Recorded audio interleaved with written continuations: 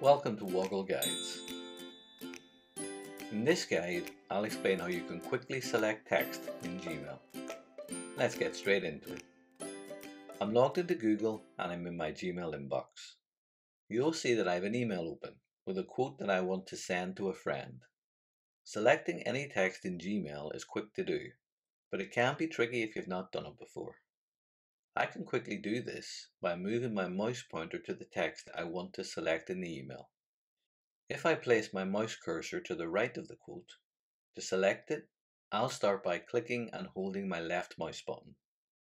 And then you'll see I can slowly drag my mouse cursor over the text. Be careful to ensure you move your mouse pointer in a straight line when selecting a row of text. If the cursor moves onto any other rows of text, it will automatically select the text on those rows. When I'm happy that all the text I want to select has been turned blue, if I then release my left mouse button, the quote stays selected.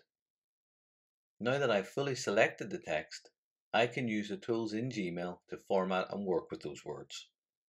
If you want to find out more about how to format and style text in Gmail, check out the Woggle guide shown above. I hope you found this Woggle guide useful and learned something new. If you have, please like or subscribe for free so that you can find out when new guides are available. Thanks for watching and do look after yourself until next time.